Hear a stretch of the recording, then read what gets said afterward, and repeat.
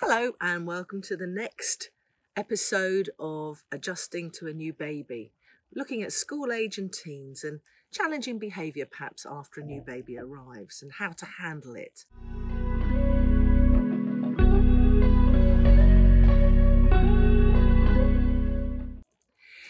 So, your school age or your teenage child might act up or act out to get your attention if they feel that they're getting less of your time, less of your energy, and of course, less of your attention because of the new baby.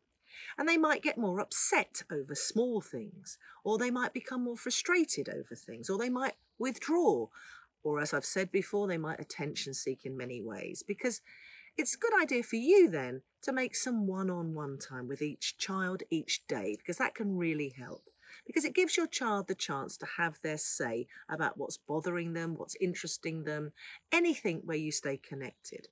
And here are some more tips for making the most of the one to one time with an older child and perhaps your teenager.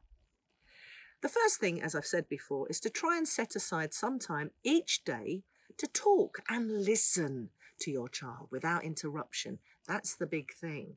Try to organise some fun activities alone with your child if at all possible, like doing arts and crafts or going somewhere together or eating a meal together so that your child might you know they can choose the activity but you've they've got your one-to-one undivided attention Perhaps you could use meal times as a really great time to talk about what's happened during the day, perhaps. Don't nag about eating the broccoli and holding the knife and fork properly.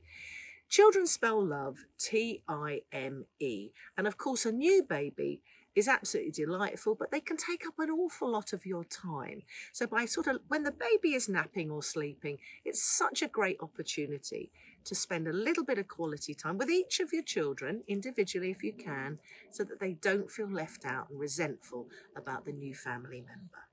Until next time, take care.